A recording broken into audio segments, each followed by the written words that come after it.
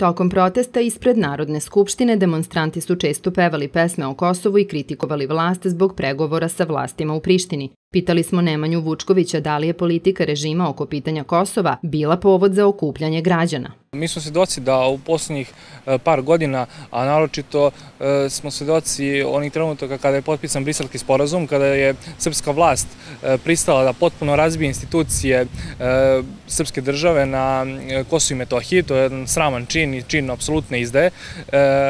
Svedoci smo da od tada pa sve do danas traje taj neki kontinuitet tih nekih poteza koji su i protivustavni, ali i protiv interesa građana Srbije koji žive na Kosovo i Metohiji.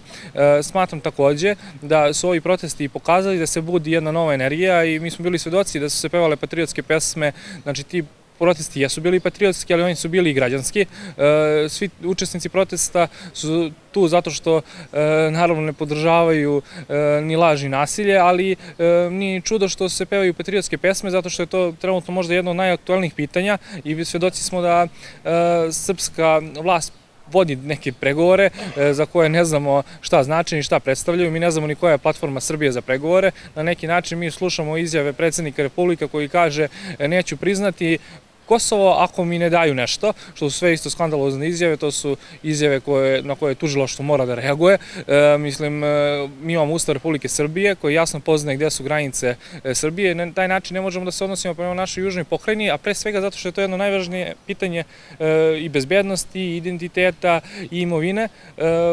Ja, ja samo pitam šta bi se desilo kad bi došlo do tog famoznog razgraničenja ili potencijalnog ulaska Kosova u jedine nacije, to, to bi dovelo do nekih nesagledivih posledica i do nekih novih problema koji bi se javili i u Raškoj oblasti i možda i verovatno i u Bosni i Hercegovini i Makedoniji i, to, i taj put jedan je put stramputice. Mi moramo da razgovaramo o, o, s Albancima, ali o miru, o kako da e, život funkcioniše normalno, kako da e, se razvija ekonomija, ali interes Srbije nije da ni na koji način prizna e, nezavisnost Kosova, niti da dozvoli ulazak Kosova u jedine nacije.